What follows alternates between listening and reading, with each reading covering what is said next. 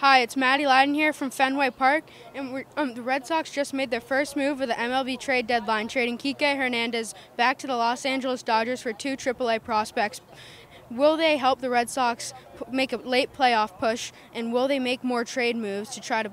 make a playoff push for the end of the season? Wondering, like prospects like Brayan Bello, who have just called up this year, are they going to make their moves and are they going to play the way they're supposed to to help the Red Sox make the playoffs?